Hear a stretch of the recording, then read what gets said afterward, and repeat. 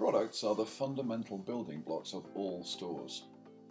Think of MyPrintCloud as an e-commerce platform that starts with a product that you want to sell to a particular user group. With MyPrintCloud you can sell three different types of products.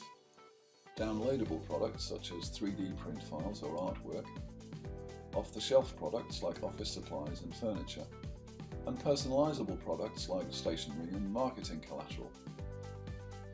Before creating any product, you may want to think about the following points.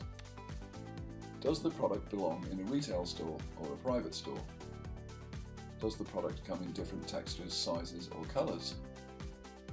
Can the product be grouped together with other similar products in a category? Does the product need personalising by the end user?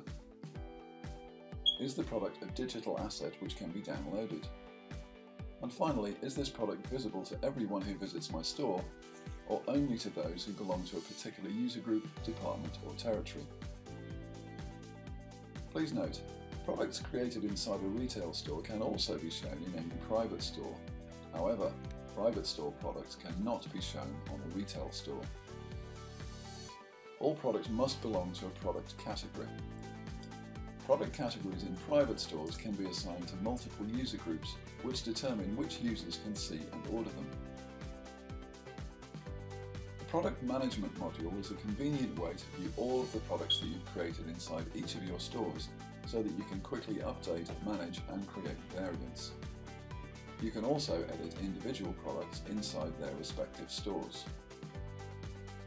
To get started, choose one of your stores and create your first product today.